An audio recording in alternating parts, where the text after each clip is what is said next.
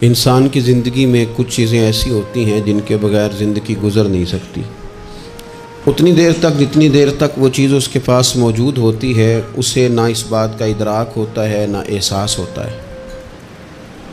لیکن جب وہ چیز اس کے پاس رخصت ہو جاتی ہے، اس کے پاس کسی وجہ سے خدا نہ خواستہ وہ چیز موجود اور محفوظ نہیں رہتی۔ پر اسے احساس ہوتا ہے کہ ایک بہت بڑی نعمت تھی میرے پاس، وہ مجھ سے چلی گئی۔ ہماری زندگی کے اندر بہت ساری ایسی چیزیں ہیں کہ اگر وہ ہم سے رخصت ہو جائیں، خدا نہ کرے تو پھر ہمیں بڑی شدت سے احساس ہوگا کہ یہ نعمت کتنی بڑی ہے۔ آپ کوس و قضا کے رنگ دیکھتے ہیں۔ دھوپ اور چھاؤں میں لوگوں کے چہروں کو ملاحظہ کرتے ہیں۔ آپ اپنے بچوں کو محبت کی نظر سے دیکھ کر دل کو ٹھنڈا کرتے ہیں۔ آپ اپنے ماں باپ کو محبت کی نظر سے دیکھ کر کامل حاج کا ثواب حاصل کرتے ہیں۔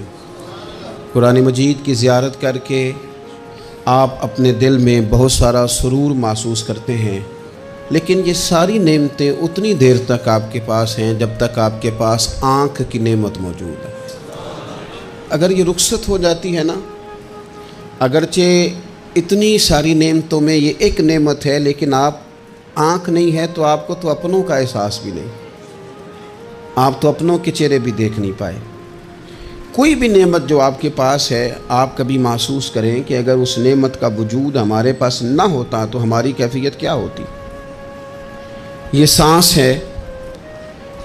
ہم دو دفعہ سانس کا استعمال کرتے ہیں، ایک دفعہ اندر جاتی ہے اور ایک دفعہ باہر آتی ہے۔ اگر اندر نہ جائے تو بھی مسئلہ ہے۔ چلی گئی ہے، لوٹ کر باہر نہ آئے تو بھی بہت بڑی مشکل ہے۔ تو اس کا اندر اور باہر جانا یہ زندگی کا احساس ہے۔ اگر کبھی سانس اکھڑنے لگے اور آپ کے سینے میں آپ کی سانس اٹکنے لگے، تو ایک بہت بڑی تشویش ہے، ایک بہت بڑی آکسیجن ہے۔ پوری طرح سے انسان کو قید کر دیا جاتا ہے۔ اور وہ کہتا ہے کہ میرا تو سارا وجود سلامت ہے۔ ہاتھ کام کر رہے ہیں، پیر کام کر رہے ہیں، آنکھیں کام کر رہی ہیں، زبان کام کر رہی ہے، سب کچھ ٹھیک ہے۔ صرف سانس اکھڑ گئی ہے۔ تو انسان محسوس کرتا ہے کہ یہ ساری چیزیں سلامت ہونے کے باوجود میرے کسی کام کی نہیں۔ آپ کے پاس جتنی بھی نعمتیں ہیں، ان کو اگر آپ شمار کریں، تو کبھی آپ کہیں گے کہ ساری نعمتوں میں آنکھ زیادہ ضروری ہے، کبھی کہیں گے کان زیادہ ضروری ہے، کبھی کہیں گے زبان زیادہ ضروری ہے، کبھی کہیں گے دل زیادہ ضروری ہے، کبھی کہیں گے روح زیادہ ضروری ہے۔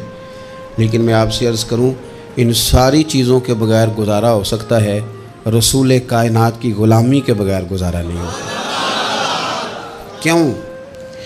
اس لیے کہ اگر حضور کی شفقت نہ ہو، نبی پاک علیہ السلام کی رحمت نہ ہو، وہ ابن القیب نے ایک جگہ پہ کہا تھا کہ یہ حضور نے ہمیں انسان بنایا ہے۔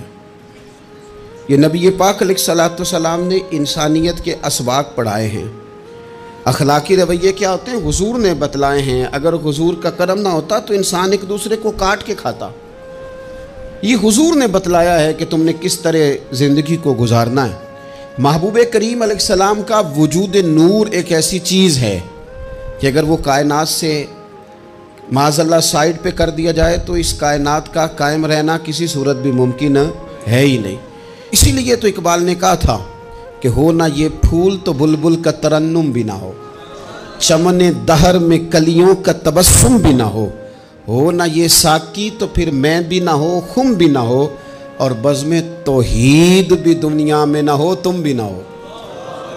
وہ بڑی بات کہہ گئے ہیں، میں نے بھی اس کو کوئی نہیں کھولنا۔ کہتے ہیں بزم توحید بھی دنیا میں نہ ہو، تم بھی نہ ہو۔ خیمہ افلاق کا استادہ اسی نام سے ہے اور نبز ہستی۔ نبز ہستی تپ شامادہ اسی نام سے ہے۔ تو اقبال پھر ہمیں کرنا کیا ہے؟ کہنے لگے، کرنا آپ کو یہ ہے کہ قوت عشق سے ہر پست کو بالا کر دے اور دہر میں اس میں محمد سے اجالا کر دے۔ یہ کرنے کا کام ہے۔ اس رستے پہ آپ چل پڑیں۔ میرے بھائی، پہلی امتوں کے آپ تذکرے پڑھ لیں، کتابوں میں موجود ہیں۔ سورہ آراف کو دیکھ لیں۔ اس میں بہت ساری چیزوں کا تذکرہ کر دیا گیا ہے اور بھی قرآن مجید کی بے شمار صورتیں ہیں۔ آپ ان کو دیکھ لیں، اس پر غور کر لیں۔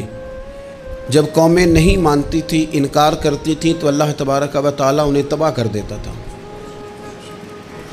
بات نہیں مانی ختم ہو گئی۔ ایک مقصد ہے نا، جس کے لیے کسی چیز کو بنایا گیا۔ ہے تو مقصد تخلیق انسانیت کیا ہے کہ وما خلقت الجن والانس الا ليعبدون۔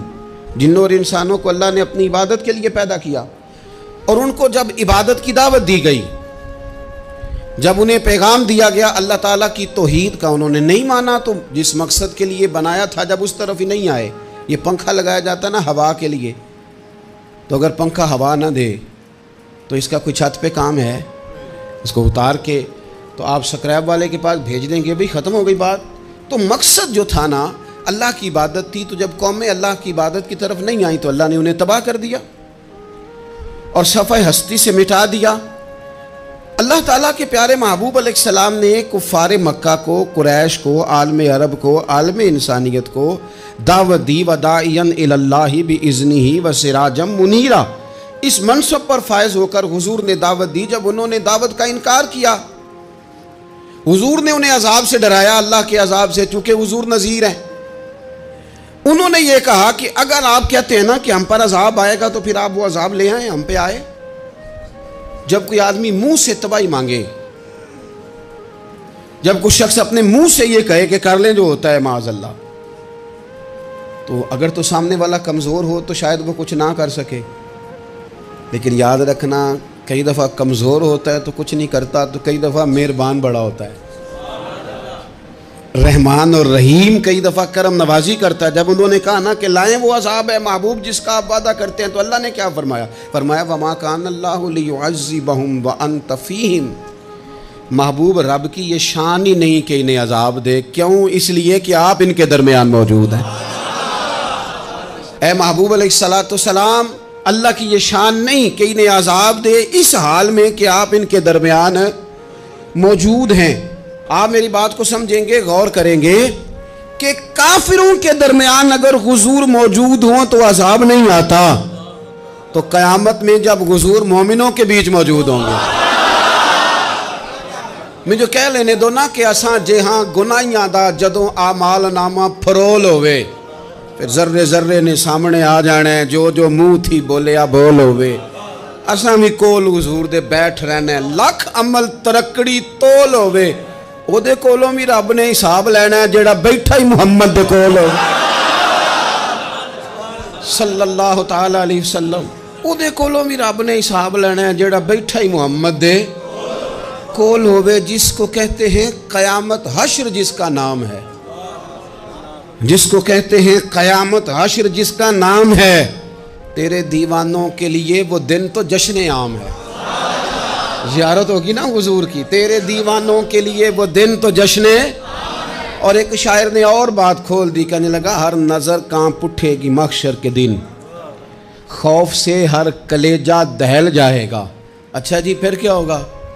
ہر نظر کہاں پٹھے گی مخشر کے دن۔ آنکھیں پھڑ پھڑائیں گی، کانپیں گی۔ اور کلیجے پھٹیں گے۔ منظر ہی ایسا ہوگا، انسان اپنے پسینے میں ڈبکیاں کھا رہا ہے۔ حساب کا وقت آ گیا ہے۔ اور سورج سوا نیزے پہ ہے، زمین دھیک رہی ہے۔ تو کہنے لگے، ہر نظر کانپ اٹھے گی مخشر کے دن؟ خوف سے ہر کلیجہ دہل جائے گا۔ پھر اوڑ کر کالی کملی وہ آ جائیں گے۔ پھر اوڑ کر کالی کملی وہ آ جائیں گے۔ پھر اوڑ کر کالی کملی وہ آ جائیں گے۔ ہر نظر کانپ اٹھے گی مخشر کے دن؟ خوف سے ہر کلیجہ دہل جائے گا۔ پھر اوڑ کر کالی کملی، وہ آ جائیں گے، سارے مکشر کا نقشہ بدل جائے۔ میرے عزیز، حضور کے بغیر گزارا، نبی کریم کے بغیر کوئی چارہ، ہمارا کوئی سہارا ہی نہیں حضور کے بغیر۔ ہم کدھر جائیں؟ سوائے محبوب کے۔ اس لیے نا صحابہ اس بات پر مطلع ہو گئے تھے۔ وہ نا بڑی بڑی دھیمی دھیمی باتیں پوچھتے رہتے تھے۔ اطلاع مل گئی تھی نا کہ اصل کرنا کیا ہے۔ تو جو رازدار لوگ ہوتے ہیں نا، وہ پھر دھیمے دھیمے راز کی باتیں کرتے ہیں۔ حضرت انس بن مالک حضور کے خادم تھے۔ اماں نے دے دیا تھا حضور کی بارگاہ میں، کہتے ہیں، میں دس سال مدینے میں حضور کی نوکری کرتا رہا۔ تو قریب سے دیکھا تھا نا سارا کچھ۔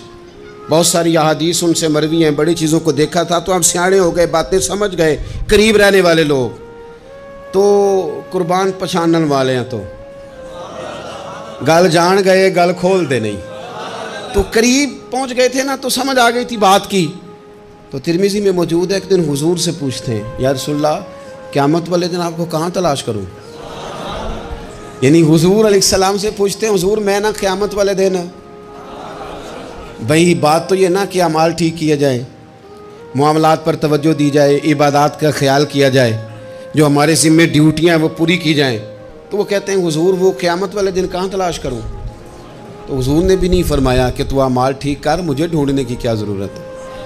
کہاں ڈھونڈوں؟ تو حضور فرمانے لگے، مسکرا کے۔ مسکرا کے فرمانے لگے، چونکہ قربان پچھانن والے ہیں تو۔ اے گل جان گئے، گل کھول دے نہیں۔ حضور علیہ السلام سے کہا، یا رسول اللہ، میں نہ قیامت والے دن کہاں تلاش کروں؟ تو حضور فرمانے لگے، حوض کوثر پہ۔ یا رسول اللہ، وہاں کیا ہوگا؟ تو فرمایا، امت پیاسی آئے گی تو میں جام بھر بھر کے پلاؤں گا۔ میں جم بھر بھر کے پلاؤں گا۔ ایسا کی تیری خیر، تیرے میں کدے کی خیر۔ ایسی پلا کہ جس کا نشہ عمر بھر رہے۔ اور ایک نے کہا تھا کہ طیبہ سے منگائی جاتی ہے، سینوں میں رچائی جاتی ہے۔ توحید کی میں پیالوں سے نہیں، نظروں سے پلائی جاتی۔ ہے حضور صلی اللہ علیہ وسلم نے فرمایا، حوض کوثر پہ بھی جام پلائیں گے۔ چھانے بڑے تھے، حضرت انس اور بلا ہمارا کر رہے تھے۔ یہ حضور سے پوچھ پوچھ کے نا تو ہمیں ڈریس بتا رہے ہیں۔ کیونکہ حدیث روایت کر دی نا تو ہمیں ڈریس سمجھا دیے پتے بتا دیے کہاں پہنچنا ہے۔ ساری جگہ سمجھا دی، چلیں جدید دور آ گیا ہے۔ انہوں نے لوکیشن بتا دی۔ کہاں کر کے نا، کس جگہ جا کے سٹاپ کرنا ہے، کام یا رسول اللہ، وہاں ملاقات نہ ہوئی تو۔ حضور نے فرمایا، پھر پل سے رات پہ آنا۔ یا رسول اللہ، وہاں کیا ہوگا؟ فرمایا امت گزر رہی ہوگی اور میں دعائیں مانگ رہا ہوں گا۔ رب سلیم ممتی رب سلیم ممتی یا اللہ میری امت کو سلامتی سے گزار دے۔ تو وہاں آ جانا، میں دعائیں، وہاں مل جاؤں گا۔ قربان جائیں۔ فاضل بریل بھی بول پڑے۔ کہنے لگے، خدا کی رضا چاہتے ہیں دو عالم، خدا چاہتا ہے رضائے محمد، اجابت کا جوڑا، عنایت کا سیرا دلن بن کے نکلی، دعائے محمد۔ اجابت نے جھک کر گلے سے لگایا، بڑی ناز سے جب دعائے محمد رضا اب پل سے وجد کرتے گزریے کہ ہے رب سلیم دعائے محمد۔ صلی اللہ۔ ہو تو عرض کی، یا رسول اللہ، وہاں ملاقات نہ ہوئی تو؟ میں نے کہا وہ ہمیں لوکیشن سمجھا رہے تھے، انہیں تو پتا تھا پہلے ہی۔ ایک قربان پچھانن والے ہیں تو۔ ایک گل جان گئے، گل کھول دے نہیں۔ تو وہاں نہ ملاقات ہوئی تو حضور نے فرمایا، پھر میزان عمل پہ آنا۔ یا رسول اللہ، وہاں کیا ہوگا؟ فرمایا، امت کے عمل تول رہے ہوں گے۔ اور میں ان کے لیے دعائیں کر رہا ہوں گا۔ میں نہیں جا سکا کبھی بچوں کے ساتھ پیپر دلوانے۔ استاد کو اجازت نہیں دیتے۔ کہتے ایک ایگزامینر اور آئے گا کوئی۔ جس نے پڑھایا ہو اسے اجازت نہیں کہ تو جا۔ ابا جی کو اجازت نہیں ہوتی کہ وہ ایگزامینیشن ہال میں جائے۔ وہاں تو کوئی اور لوگ آتے ہیں۔ یہ بھی عجیب سبق ہے نا کائنات کا کہ سارے تعلیم و تربیت کے اسباق بھی حضور پڑھائیں۔ رنگ بھی سارا حضور ہی بتائیں۔ اور قبر کے سوالات بھی سارے ہمیں حضور بتا دیں۔ اور جب پیپر ہونے لگے تو سراہنے بھی کھڑے ہو جائیں۔ تو پھر کہہ لینا ایک دفعہ پھر کہ وہ دے کولوں کی رب نے حساب لینا جیڑا بیٹھا ہی محمد دے کولوں وہ دے کولوں کی رب نے حساب لینا۔ میرے عزیز، ہمارا گزارا نہیں حضور کے بغیر۔ لوگ اصل میں نا ہمارا مسئلہ نہیں سمجھتے، ہمارا مسئلہ کچھ اور ہے۔ لوگ ہمیں نا بلا وجہ پریشان کرتے ہیں، کبھی جھنڈے سے، کبھی ڈنڈے سے، کبھی جھنڈی سے، کبھی کسی شے سے۔ کبھی کسی شے سے، کبھی کہتے ہیں وہ نعت اونچی پڑھ لی، کبھی کہتے ہیں سلام اونچا پڑھ لیا، کبھی کہتے ہیں وہ جھنڈیاں لگا دیں۔ میں نے کہا آپ کی بات بھی ٹھیک ہے، پر ہمارا مسئلہ تو سمجھو نا۔ ہمارا گزارا نہیں نا بھائی۔ جو کسے دا عاشق ہو وہ گالو سے دی۔ سو سو مکر بہانے کر کے میں پوچھے ہے میاں صاحب نو مزار تے جا کے کہ مکر کرنے ٹھیک نے؟ تو سا نا مکر کردہ ہے، تے حضور ٹھیک نے؟ تے میں لگتا ہے کہ پولا جان دے سے پہ کہ سونا راضی کرنا ہوئے تے موڑ ٹھیک نے حضور نے ایک دن کہا تھا حضرت ابو سعید خدری نے کہا یا رسول اللہ آپ قرآن پاک کی تلاوت کر رہے تھے قرآن پاک بڑا سونا پڑھتے تھے نا تو نبی کریم نے سن لیا اب کیا کریں دلیل دیں گے تو بات مضبوط ہو جائے گی حضور نے سن لیا تو بعد میں فرمایا ابو سعید تو بڑا سونا قرآن پڑھتا ہے رب کے علاوہ کسی کو دکھا کے عبادت کرنی جائز ہے حضرت ابو سعید خدری کہنے لگے، سن رہے ہیں، مجھے پتہ نہیں تھا، آپ سن رہے ہیں، ورنہ میں نے تو اور بنا بنا کے پڑھنا تھا۔ اب تو مان جاؤ نا، جو کسے دا عاشق ہوئے گل اسے دی کر دے۔ سو سو مکر بہانے کر کے۔ سو سو مکر بہانے کر کے او دئی مرنے مرد ہے۔ میرے عزیز، ہماری مجبوری ہے، لوگ اس بات کو سمجھتے نہیں، ہماری مجبوری ہے، حضور کا ملاد ضروری ہے۔